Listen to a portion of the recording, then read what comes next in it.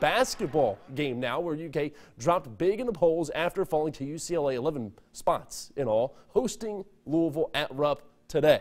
Hamidou Diallo slammed home the game's first points. He's going to talk about that for a few seconds afterward, too.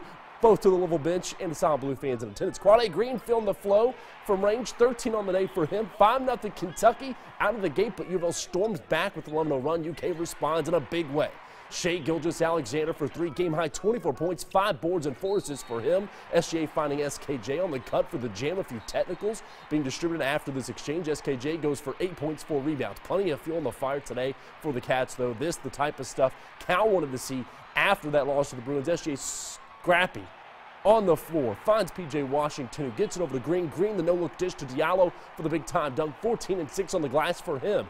It was all UK today at Rupp. Washington adding in 16 and 7, 90 to 61. Your final here's Coach Cal after the win on the mindset moving forward. I said today before the game, we're no longer freshmen. I'm not saying it anymore. We're not freshmen now. We're 10 games in, 11 games in. We are not freshmen.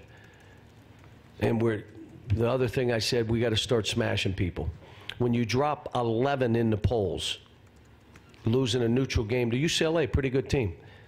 I, I thought we'd be out of the top 25, to be honest with you. There was a lot of hope for that.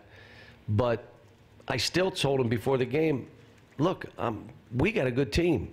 And I'm, I'm not trading my team for any team. How about SGA? What got into the Canadian star? Most of you here don't watch the game. You're just tweeting and doing stuff. But if you happen to glance at the game, what you see on his face is a smile.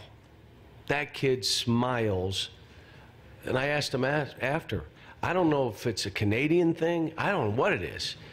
But every Canadian that I coached has fun and smiles and doesn't feel the weight of the world on them.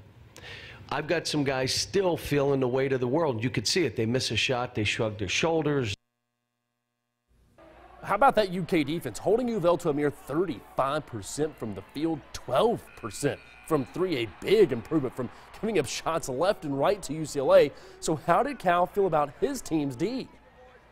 We were able to go zone and man. Look, most of my teams haven't been able to do this. Press a little bit, play man to man and play some zone. So we have some bullets in the gun. I mean, we, we, we're not stuck. Like the start of the half, they scored three straight baskets. I said, that's it. We're going zone. So, and it looked good. Boy, the Cats came out hot, gave up that 11-0 run just like they did against UCLA, but then locked up Louisville defensively, as you just heard. So it was the battle for the Bluegrass, this UK-UofL rivalry, everything it was hyped up to be for the newest guys donning blue and white. I thought they was going to fight more, but they didn't. We just blew them out. So we came out the first punch. That was it.